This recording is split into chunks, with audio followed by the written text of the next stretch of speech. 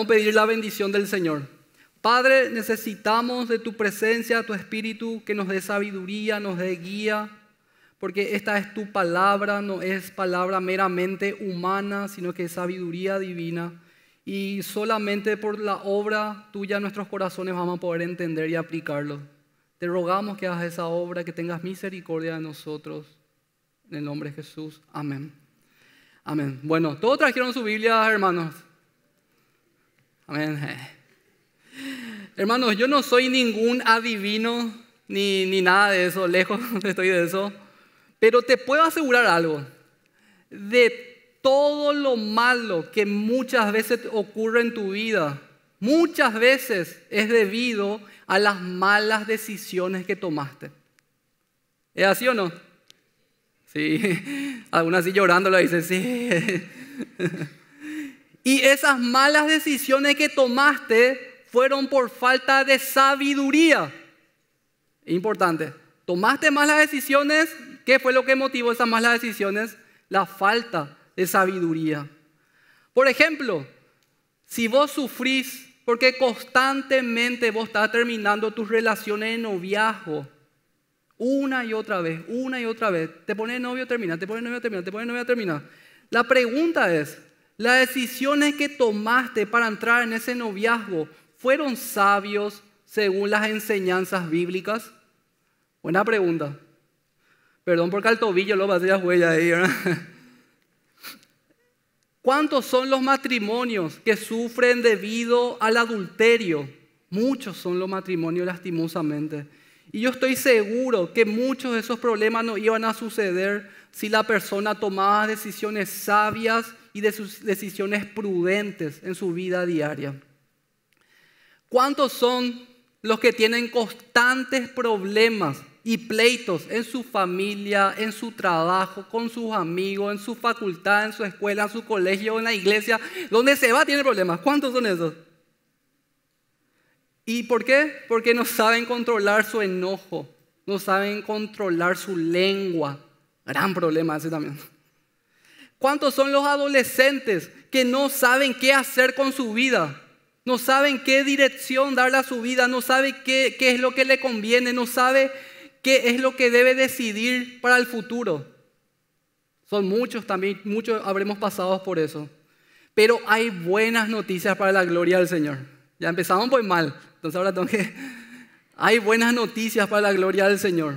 Porque el Señor dejó un libro muy, muy especial y es el libro de Proverbios. El libro de Proverbios. En este libro de Proverbios vas a encontrar cómo debes actuar cuando estás enojado. En el libro de Proverbios vas a encontrar cómo debes ser una mujer piadosa. En el libro de Proverbios vas a encontrar lo que debes tener en cuenta para elegir a quién será tu esposa. En el libro de Proverbios vas a encontrar cómo debes trabajar, con quién debes asociarte. Vas a encontrar cómo debes hablar y cuánto tenés que hablar también. Vas a encontrar cómo debes correr del pecado sexual, también enseña Proverbio. Vas a encontrar cómo debes relacionarte con la gente que está allá afuera, que no son creyentes. Esto y muchísimo, muchísimo más vas a encontrar en el libro de Proverbios. Porque este libro tiene enseñanzas muy variadas para que el creyente lo aplique en su vida diaria. El libro de Proverbios tiene algo peculiar en comparación a otros libros de la Biblia. Porque ya en el primer capítulo comienza describiendo así ya de manera clara, de manera precisa, cuál es el propósito de este libro. Vamos a ver Proverbios 1, versículo 2. Proverbios 1, versículo 2. Proverbios está después de Salmos en el Antiguo Testamento, para que se puedan ubicar bien. Vamos a ver, Proverbios capítulo 1, versículo 2 Vamos a leer. Vamos a leer el 3 y el 4 también ya.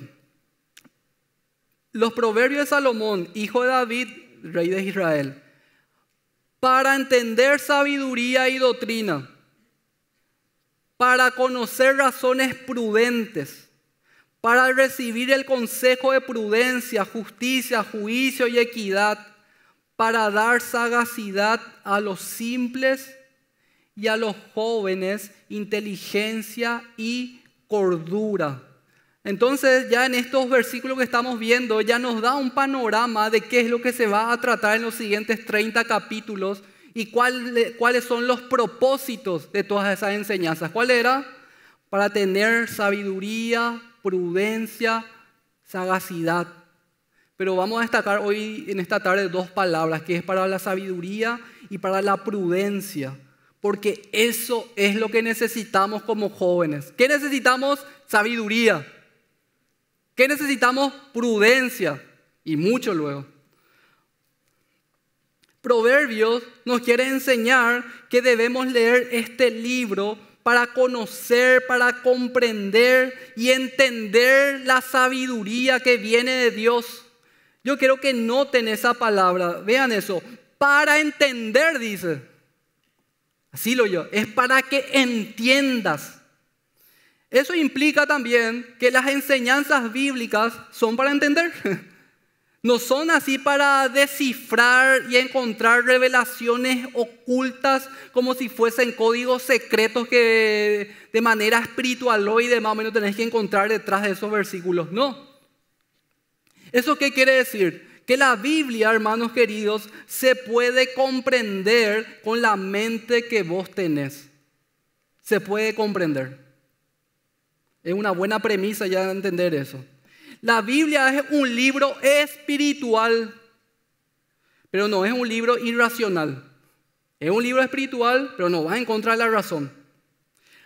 Y entonces, si, no sé si ustedes están notando en estos versículos, Proverbios o el autor a Proverbios, y de hecho el Señor mismo detrás del autor, te está invitando para que te acerque al libro, del, libro de Proverbios, para que pueda ser tu manual de vida.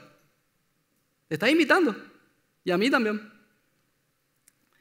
Y quiero que vean el versículo 2 que dice, para entender sabiduría y doctrina. En nuestro tiempo y en nuestro contexto, cuando nosotros decimos, qué persona sabia es fulana de tal, por, por, lo general nos referimos a personas que tienen títulos universitarios, personas que tienen un coeficiente intelectual muy alto, nos referimos a esa, a esa persona que sabe de memoria la Biblia. O decimos que persona sabia, ese que sabe hablar, que se sabe expresar. O creemos que la persona sabia es aquel que siempre hace todas sus tareas en clase, tiene las mejores notas y pasa todo de grado, de curso. Eso para nosotros, en nuestro contexto, esas son las personas sabias. ¿Es así? Pero en el libro de Proverbios se habla, se habla mucho de la sabiduría. Ustedes si ven, estudian, van a encontrar muchas veces sabiduría u otras palabras que hacen referencia a eso, que se habla de la, de la sabiduría. Pero en el libro de Proverbios, como estaba diciendo, no se refiere solo al aspecto intelectual de la persona, como muchas veces nosotros interpretamos o usamos nuestro lenguaje actual. Porque en nuestro contexto podemos decir que alguien es sabio sin importar su vida moral. Él es una persona sabia, pero a vos no te importa cómo él vive su vida moral, pero es sabio. Esa es nuestra manera de ver actualmente muchas veces. Pero en el libro Proverbios, otra vez enfatizo, la sabiduría no solo significa tener mucho conocimiento, es más que eso. Es más que el conocimiento nada más. La sabiduría, hermanos queridos, es la capacidad que tiene el creyente de vivir en santidad y tomar decisiones inteligentes en un mundo difícil. Así yo lo conceptualizo. La capacidad de vivir en santidad y tomar decisiones inteligentes en un mundo difícil. De hecho, en un comentario bíblico, ya resume bien, más fácil todavía, que dice de que conceptualiza la sabiduría de esta manera. El arte de vivir piadosamente. Ah, genial, cortito, se entiende. El arte de vivir piadosamente. Entonces en Proverbios encontramos también enseñanzas muy, muy prácticas, extremadamente prácticas. Le doy un ejemplo. Proverbios 15.1, que dice, por ejemplo, ahí, la, la blanda respuesta quita la ira, mas la palabra áspera hace subir el furor, dice. ¿Qué enseñanza tan fácil de entender? ¿Te das cuenta de eso? Muy fácil de entender. No es que tenés que entrar en un cuarto de oración y ayunar 40 días y ahí entender el versículo. Obviamente, yo no estoy diciendo que no tenga profundidad este versículo, no estoy diciendo eso, pero se puede comprender con, con cierta facilidad. Es una enseñanza muy práctica y muy aplicable en el día a día del creyente. Y eso los esposos lo tenemos que, ese versículo lo tenemos que hacer un cuadro en nuestra sala de casa y poner ahí, ¿verdad? Y si puedes tatuarte ese versículo, mejor lo de. El creyente entonces debe obedecer las enseñanzas o los principios de proverbios con la ayuda del Espíritu Santo. Eso es fundamental entender. Debemos hacerlo con la ayuda del Espíritu de Dios quien inspiró estas escrituras. Y personalmente hablando, el Señor usó el libro de Proverbios para saber con quién debía casarme. Para mí fue muy, muy fácil, muy sencillo. Así lo ya les cuento. Yo leí el libro de Proverbios, vi cómo tiene que ser una mujer bíblica, cómo, cuáles son sus características. Leí, así. Cómo es una mujer que no agrada al Señor, que, no, que tiene características negativas. Ya anoté todos, bueno, mentalmente anoté todo eso. Estaba desesperado tampoco, anoté mentalmente. y, y ahí entonces yo supe, bueno, así debe ser una mujer, así no debe ser una mujer. Le miré a Anto, le dije, a ella le quiero el Señor, a ella le voy a amar, a ella me entrego completamente, punto final, chau. Así fue. Porque a través de la palabra yo entendí quién debía ser. Y hoy, tres años después, felizmente casados, enamorados, ya con una hija, y acá estamos. Para que vean nomás, hay que estudiar proverbios y así, ¿no? así nomás. Algunos lo ya notaron, debo estudiar proverbios, eh, hoy urgente. No aguanto más. No, así le, le cuento a grandes rasgos como mi testimonio en cuanto a eso. Y creo que noten esto. Proverbios, el libro de Proverbios ya da por sentado ya que vos y yo necesitamos de consejo de sabiduría. Ya darlo por sentado. Necesitas. Hay que partir de esa base. Yo necesito sabiduría. Vos necesitas sabiduría. Y si somos jóvenes, ¿con cuánta más razón? ¿Con cuánta más razón? Porque el joven debe ser guiado. Debe ser guiado necesariamente. El joven es inexperto. El joven muchas veces no razona bien. ¿Alguien me da la razón? No razona bien. Y otro gran problema, ¿saben cuál es? Es que todo lo que estamos acá, en mayor o menor medida, actuamos conforme a los valores del mundo sí o sí, en mayor o menor medida, según los valores o los principios que se oponen a la palabra de Dios. Por eso yo también creo que Romanos 12.2 tiene una relación muy buena con esta enseñanza y este versículo, porque en Romanos 12.2 le leo nomás así, dice esto, que debemos ser transformados por medio de la renovación de vuestro entendimiento, dice. Este versículo romano que fue escrito por el apóstol, el apóstol Pablo ya también presupone que debe haber un cambio en tu manera de pensar. Tiene que haber un cambio en tu manera de vivir. Y nuevamente miren cómo el joven, el joven actual habla en realidad, Vean cómo ellos admiran a actores, a futbolistas, a músicos que solamente tienen talento y no les importa si les es infiel a su esposa. No les importa. No les importa si esa persona es soberbia, no les importa si esa persona es violenta, nada, no le importa. Y nadie, nadie admira a aquel que es manso, por ejemplo. Nadie dice, ¿cómo le admiro a esa persona? Es tan mansa. Eh". Así, hablando de la sociedad en general estoy hablando. Nadie. O nadie admira a aquel que sabe controlar su enojo, su ira, por ejemplo. Al contrario, el que, el que no es violento y no se enoja con facilidad es medio nenita, luego, no se atreve a mostrar su ira y su enojo. Porque esas son, esas son las cosas que valora la sociedad. El violento, el fuerte, el aguerrido, entre comillas. Entonces vean cómo es necesario. Debemos renovar nuestro entendimiento. Debemos renovar para desear las enseñanzas bíblicas y ponerlos por obra. Tenemos que hacer eso, hermanos. Y vos y yo como jóvenes necesitamos saber primero que nada, luego, primero que nada, que no podemos confiar ciegamente en nuestras propias ideas. ¿A alguien ya le pasó eso? Que creía algo a muerte, esto es así, así, así, así. Había sido, no era tanto así mal, chocaste, te estrellaste mal con tu propia manera de ver la vida, con tus propias decisiones nada más, sin querer escuchar a otros. Así somos los jóvenes, hermanos queridos. No debes confiar enteramente en tu manera de ver las cosas, en tu manera de percibir las situaciones. No debes confiar. No debes confiar en vos mismo. Si cuanto menos confíe en vos, mejor luego. La gente afuera, ¿qué nos dice? ¿O qué, qué la sabiduría, la sabiduría mundana ya chupe? Que debes confiar en tu corazón. Escuchale a tu corazón. Escuchale. sé guiado por lo que vos sentís. Y ahí, ahí vas a estar seguro que te hace sentir plenamente. Y ahí eso quiere decir que ese es el camino correcto.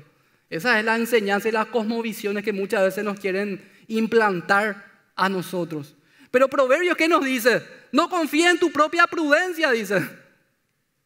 No confíes en vos, en tu manera de pensar, sino que confía o fíate del Señor con todo tu corazón. Tremendo. Como dice el pastor Fede, ya para ir a hacer un asado ya, es demasiado gloriosa esta palabra. Eso implica que como joven creyente tenés la tarea y la responsabilidad de pensar y actuar conforme a las enseñanzas bíblicas. Así debe actuar y así debe vivir, conforme a las enseñanzas de la palabra de Dios. Y analiza un poco esto.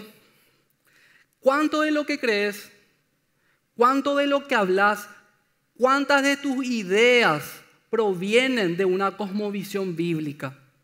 ¿Cuánto? Porque es importante saber, hermanos queridos, que las decisiones que tomas en todas las áreas de tu vida, en todas las áreas de tu vida, depende enteramente de lo que vos crees. Vos crees algo, eso vas a decidir. Por ejemplo, te doy un ejemplo así para que sea un poco más sencillo también graficar el concepto. Vos, por ejemplo, podés decir, yo creo que la vida cristiana se trata de asistir a los cultos el día sábado. Esa es la vida cristiana. No, que, orar, que leer la palabra día a día. No, vida cristiana.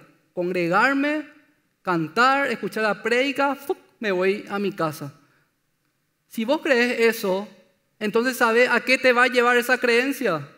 A no tener una vida de oración personal a no tener una vida de estudio de la palabra, a no tener comunión con los hermanos y como consecuencia no vas a tener una vida fortalecida espiritualmente hablando, no vas a tener una vida avivada en el Señor, porque esa creencia que tuviste te llevó a tomar ese camino y esa decisión. ¿Se entiende mejor ahí la idea ya, verdad? Y créame, hermanos, que la sabiduría que habla el libro de Proverbios es para una vida práctica. Aquellos que leyeron se van a dar cuenta que es extremadamente práctico las enseñanzas que da Proverbios. Porque la vida cristiana es mucho más práctica de lo que muchas veces se quiere enseñar. Es muy práctica la vida cristiana. Créanme que es así. ¿Cuántas son las personas, por ejemplo, que dicen, Quiero que Dios me hable y me muestre quién tiene que ser mi esposa. Ese, pastor Fede siempre lo habla, entonces ya hablo de algo muy normal. Quiero que Dios me hable, una señal necesito. Háblame, alguna señal tiene que haber. Algo me tenés que mostrar, sea sueños, sea visiones, pero algo tiene que ocurrir y ahí voy a tomar la decisión y ahí voy a saber que esa fue tu voluntad. Clásica. Y de alguna manera, hermanos, con esa, con esa idea, con esa cosmovisión, de alguna manera creemos que Dios debe tomar las decisiones por nosotros. Pero no, el Señor ya dejó su palabra para que nosotros conozcamos su palabra, para que nosotros interpretemos bien su palabra y que tomemos decisiones según lo que hemos aprendido en su palabra. Y todo esto debemos hacerlo con la guía del Espíritu Santo, en oración y también con la guía de los hermanos en la fe que nos rodea. Vos necesitas sabiduría para tomar decisiones. ¿Quién necesita sabiduría para tomar decisiones? Todos. ¿Sabes qué? Pedile al Señor en oración. Padre, quiero sabiduría. Dame esa sabiduría que necesito. Y al mismo tiempo estudia su palabra. Ora, pedí sabiduría, pero al mismo tiempo también estudia su palabra. Y ahí el Señor te va a responder y te va a guiar en lo que debes hacer. Yo había dicho que lo malo que nos ocurre es por la falta de sabiduría en nuestras decisiones. Y bueno, tomamos esas malas decisiones porque no tomamos a la Biblia como nuestra guía de vida. Esa es una de las grandes razones también. Creemos que la Biblia habla de ciertas verdades abstractas, de temas que no tienen relación con el joven del siglo XXI, que creemos que la Biblia no tiene ningún tipo de relación con lo que te ocurre en tu vida, en tu día a día. Creemos pero nosotros creemos, quiero decir, que la Biblia te va a mostrar y te va a encaminar que las decisiones sabias que debes tomar en este mundo oscuro y difícil. Y vamos a ver el versículo 3. El versículo 3. Estuvimos viendo el 2 para conocer, para entender sabiduría y doctrina. Y luego el versículo 3, la primera parte, dice así, para recibir el consejo de prudencia.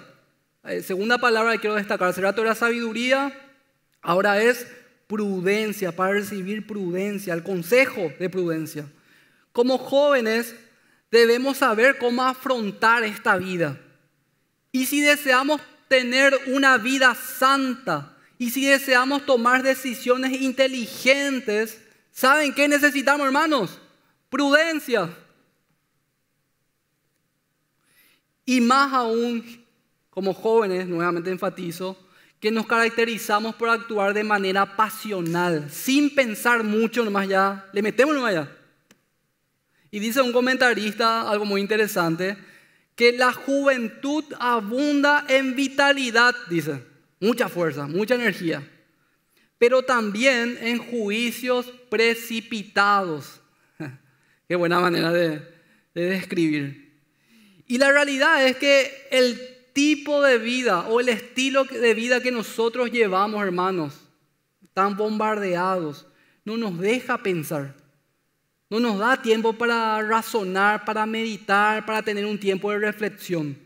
Constantemente suena nuestro teléfono, nos escriben, nos llama, tener actividad acá, tener tal trabajo, esto, estudio tenés las redes sociales que nos absorben la vida entera.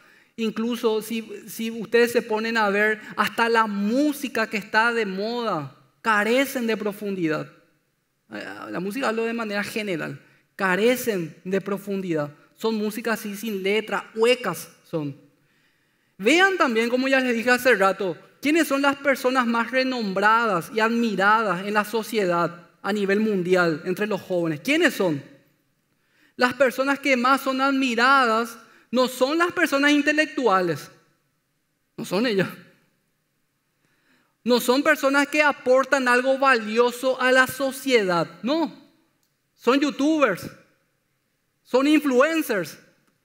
Entre paréntesis, no, no hablo mal de ellos. Yo también suelo ver sus cosas, pero hablo de manera general, hermano. No crean que yo ahí digo por alguien, por alguien o algo. Nada Son ellos, hermano. Y, pero me van a dar la razón.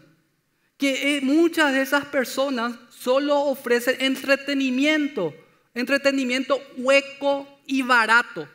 Sin contenido alguno. Y cuanto menos profundo es, mejor lo todavía. Porque el joven ya no quiere pensar mucho, quiere ver algo sencillo y rápido y terminó ya. Y así están hechos ahora también ya todos los videos, todo lo que es TikTok y otros, todos tienen que ser cortos. No, ¿qué video de cinco minutos? Olvídate. Jamás luego. Y ese es el contexto donde nosotros vivimos, hermanos queridos. Entonces, la gente más admirada no son personas que nos ayudan a ser más sabios. Al contrario, luego, totalmente para el otro lado nos lleva.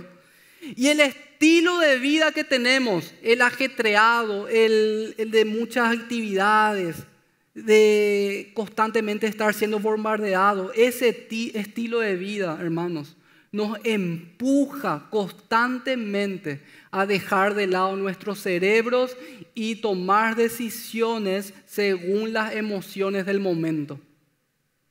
Bueno, hay pues mucho tiempo para pensar, hay que decidir nomás ya, esto yo siento, esto necesito y ya está ya.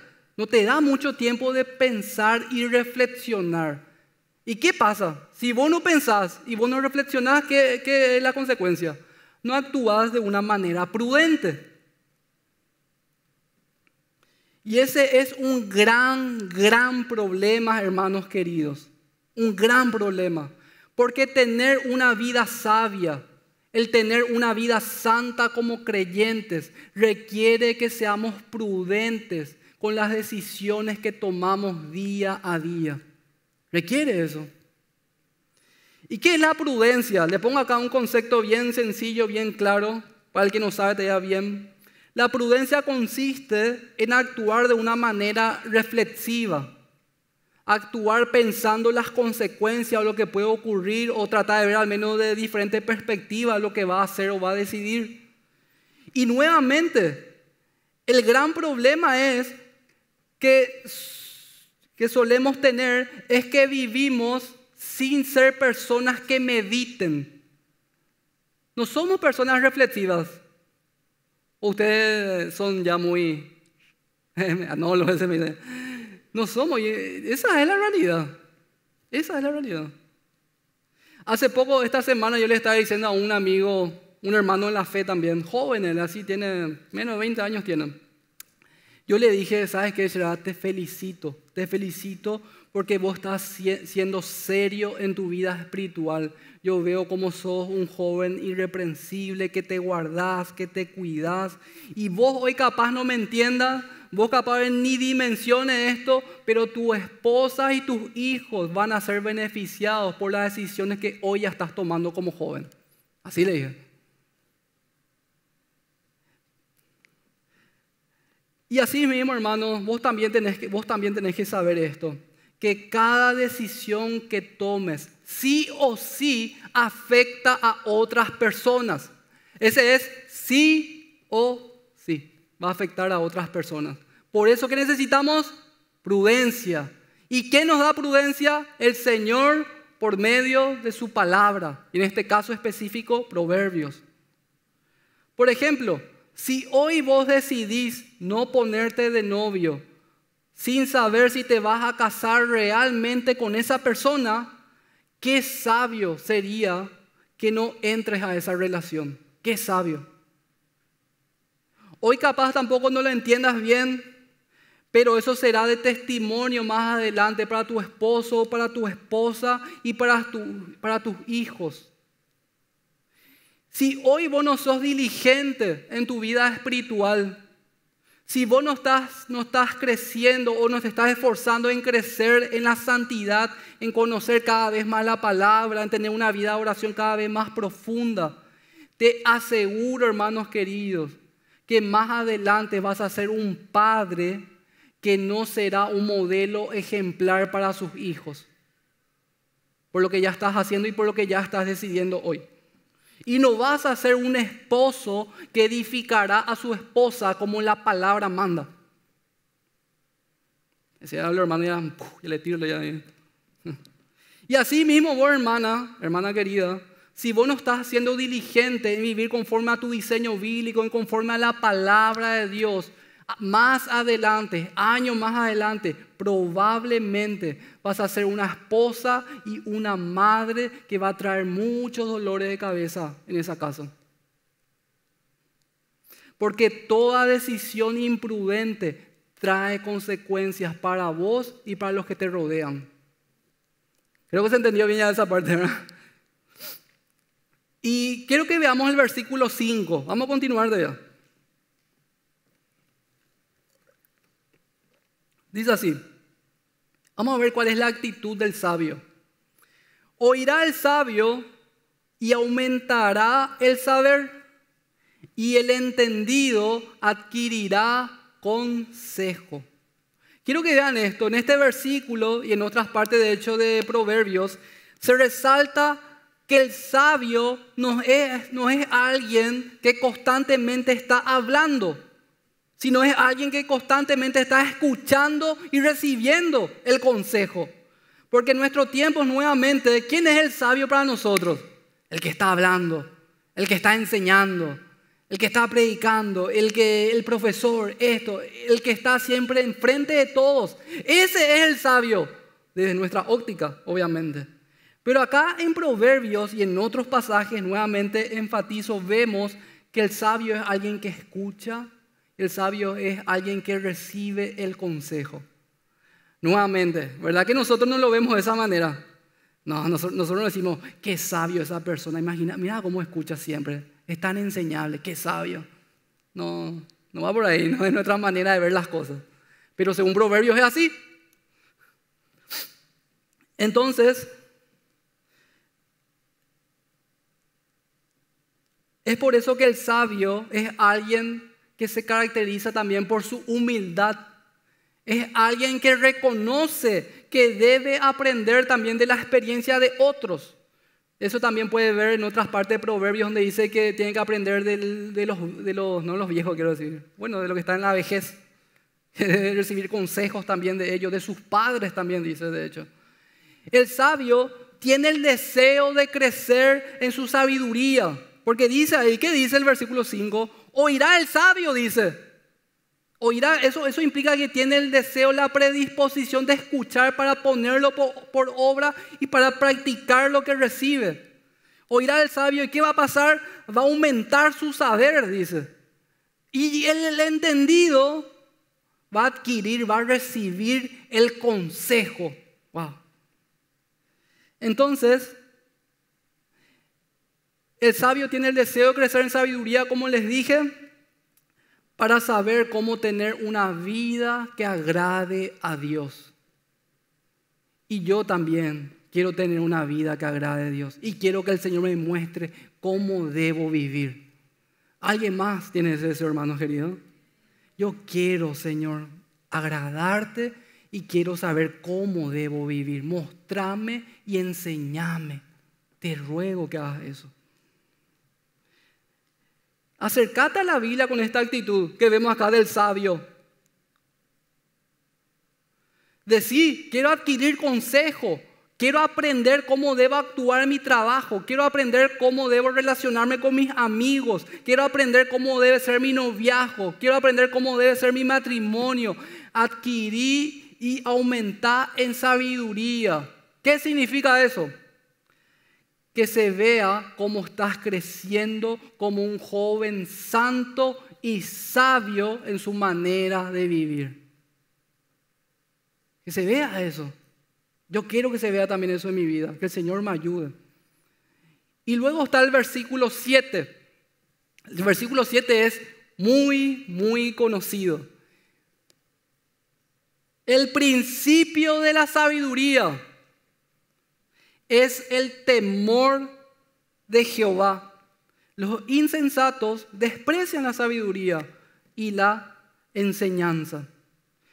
Cuando algunos leen Proverbios, ven que es un libro muy práctico. Y de hecho ya es tan práctico que no usa un lenguaje así tan teológico. ¿Verdad que es así?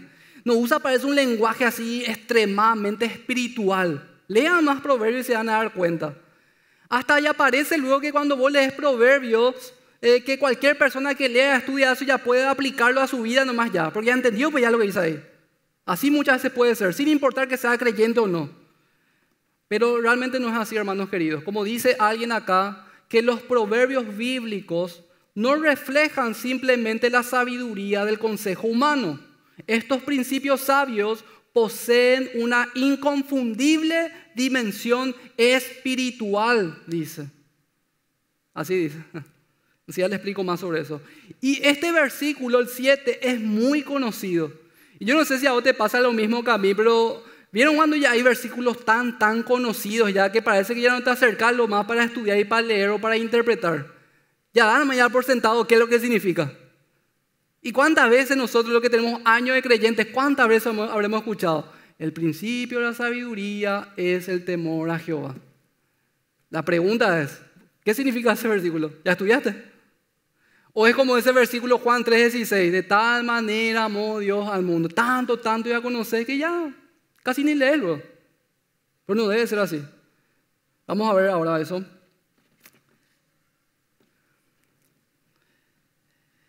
Vamos a ver qué podría significar el principio de la sabiduría, es el temor de Jehová. Yo siempre eh, digo que es importante ver también otras versiones de la Biblia que quizás no pueda, pueda usar otros términos y nos pueda traer un poco de mayor luz sobre qué puede significar un versículo bíblico específico. Y en la versión Dios habla hoy encontré algo muy interesante.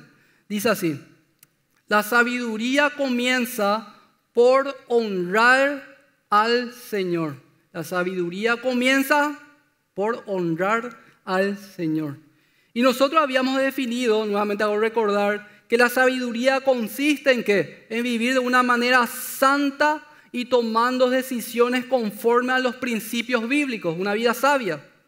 Pero es también importante remarcar esto, para que vos puedas ser sabio, escucha bien esto, para que vos puedas ser un creyente, un joven sabio, primeramente es necesario que tengas temor del Señor. Primeramente eso es necesario. Esto quiere decir que ser sabio no significa simplemente llenar la cabeza de conocimiento. Otra vez enfatizo eso. Primero que nada significa tener un corazón que desea agradar a Dios con reverencia. Porque ese es el temor, la reverencia que tenemos hacia Dios. No un temor de miedo de querer alejarme de Él, sino que soy reverente ante el Señor y su presencia y su palabra. Tener temor de Dios significa también tener deseo o implica tener el deseo de vivir conforme a su palabra, conforme a sus mandamientos y leyes. Y el principio de la sabiduría es el temor de Jehová. Eso también podría significar que el temor de Jehová es la base el temor de Jehová es el fundamento en el cual se edifica la sabiduría del creyente. Voy a tratar de ser más sencillo todavía. De manera más sencilla lo diría que vas a vivir como Dios te manda si primeramente tenés reverencia hacia Él. Vas a vivir como Dios te manda si primeramente tenés reverencia hacia Él. O si no, no vas a vivirlo como Él quiere y como Él te manda. Porque si no hay temor de Dios en tu corazón, si no hay en vos el deseo de agradarle y tener una vida que le reverencia a Dios, no habrá tampoco sabiduría. Es decir, no habrá una vida santa que aplique las enseñanzas de su palabra. No se puede separar el temor de la sabiduría porque van de la mano. No se puede separar lo que el corazón reverente que tenés ante el Señor y las decisiones que tomás diariamente de tu vida. Van de la mano. Esto nos muestra que Proverbios no consiste simplemente que cualquier persona, sin importar que sea creyente o no, pueda aprender y practicar estos principios bíblicos. No, son principios de sabiduría que los creyentes llenos del Espíritu Santo deben aplicarlo a su vida diaria. Así es esto, hermanos queridos. Y noten cómo sigue el versículo. Los insensatos desprecian la sabiduría y la enseñanza. Aquellos que no quieren vivir conforme a lo que el Señor les manda, no les importa luego, no tienen en cuenta lo, su enseñanza, esos son los insensatos. Por eso también yo quiero dirigirme a los que nos están visitando. ¿Vos crees que tu vida agrada a Dios? Te hago esa pregunta. ¿Crees que es tu vida agradable a Dios? ¿Que las decisiones que vos tomás le honran a Él? ¿Estás arrepentido de muchas decisiones malas que tomaste en tu vida? Y quiero decirte que hay perdón. Quiero decirte que hay perdón para cada una de esas malas decisiones que tomaste en tu vida. Si vos te sentís sucio, si vos te sentís un gran tonto por haber metido tantas veces la pata, hay restauración y misericordia de parte del Señor. Y gloria a Dios por eso. Porque si nosotros leemos proverbios, nos vamos a sentir condenados. Porque vamos a ver que tan lejos estamos de vivir esa vida que el Señor nos manda. Tan lejos estamos. Y el creyente, el creyente está llamado a tener una vida santa, una vida sabia. Y al mismo tiempo está llamado a poner su mirada en el Señor Jesucristo. Porque solo Cristo vivió esa vida, esta vida en perfecta santidad y en perfecta sabiduría. Solo Cristo vivió plenamente de esa manera. Y demos gracias a Dios, hermanos queridos, por esto. Porque nuestra salvación no va a depender de las decisiones que tomamos en nuestra vida diaria. No depende de cuán santos estamos siendo porque no hay nada, nadie que podrá cumplir con la perfección que Dios demanda. Nadie va a poder cumplir la perfección que Dios demanda. Solamente nos toca mirar a Cristo y decir que Él es nuestro Salvador y que Él es nuestra esperanza, porque Él sí vivió perfectamente santo y sabio en esta vida. Hermanos, es muy difícil vivir esta vida ¿Verdad que es difícil? Complicado. Hay demasiadas luchas. Hay, demasiadas presiones, hay demasiadas dudas que uno puede tener, no sabe qué hacer. El futuro es incierto. Hay demasiadas opciones. Y sabes que lo que vos decidís muchas veces puede afectar a otro. A alguno le puede hacer feliz, al otro no. Y en esa encrucijada muchas veces te encontrás y me encuentro. Pero Dios nos llama según nos enseña el libro Proverbios. Nos llama a recibir la sabiduría que viene de Él. Y así poder tomar decisiones sabias y prudentes en esta vida. Decisiones sabias y prudentes que puedan glorificar al Señor. Amén, hermanos queridos. Yo quiero orar con ustedes de manera muy especial por esas personas que, que se encuentran, así como yo les estoy hablando, que sienten que están condenados por tantas malas decisiones que ha tomado, que se siente sucio por esas malas decisiones que ha tomado. Que oren también esas personas que no saben qué hacer, se sienten tan presionados, tan, tan por las situaciones en su vida. También les digo, oren, vamos a orar, ahora también pasan las hermanas, vamos a orar, vamos a cantar al Señor y también vamos a sellar esta palabra diciéndole al Señor, dame sabiduría. Es, esa es la aplicación de hoy, que vos ores de esta manera. Señor, dame sabiduría. Necesito sabiduría porque quiero agradarte. Padre, eh, creemos que tu palabra hizo la obra en nuestros corazones, en la iglesia. Y yo estoy seguro, mi Dios, que como jóvenes nos encontramos en situaciones tan difíciles, tan adversas. Hay muchos, muchos que se sienten arrepentidos por las decisiones que han tomado en el pasado. Muchos somos los que hemos fallado en tantas, tantas cosas. Pero a la vez, este es un buen momento, un buen tiempo para recordar que se encuentra, podemos encontrar en ti restauración, perdón, amor, paciencia y misericordia. Podemos estar plenamente seguros que todos los pecados que hemos cometido por nuestras decisiones, esos pecados pueden ser limpios si confesamos nuestros pecados. Confesar, hermanos queridos, el que quiera confesar. Porque la palabra en Juan 1.9 dice que si confesamos pues nuestros pecados, Dios es fiel y justo para perdonarnos y limpiarnos nuestra maldad. Confesar tus pecados. Pedirle perdón al Señor por las malas decisiones que ha tomado en el pasado o hace poco también. Pedirle perdón al Señor. Y confiar, confiar que Él te escucha y que Él va a arrojar esos pecados al fondo del mar y se va a olvidar de cada una de ellas. Y que hoy empieces a vivir una vida libre, ya sin estar atado al pasado, sino confiando que el Señor te limpió, te lavó y hoy te abraza con amor espiritualmente.